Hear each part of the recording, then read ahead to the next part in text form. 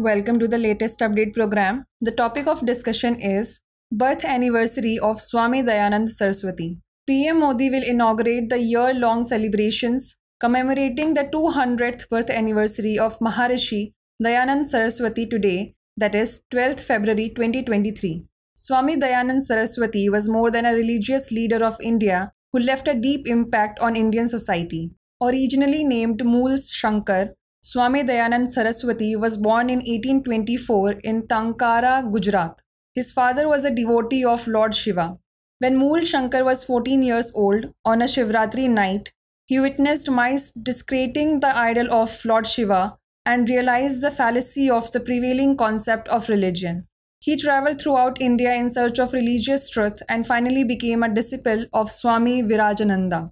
He introduced many positive reforms, among them the abolition of sati pratha, child marriage, dowry, untouchability in the prevalent caste system, and the introduction of women's education. He emphasized the concept of nationhood by introducing the word Swarajya, that is self rule, for the first time, and a need for one national language. In his famous book Satyarth Prakash, The Light of Truth, he sought to dispel rituals, dogmas, and superstitions among all Indians.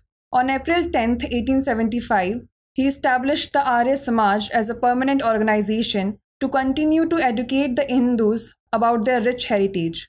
With his missionary work, he made numerous enemies among people who preferred the status quo. He died under circumstances suggesting that he might have been poisoned, but the accusation was never proven in court.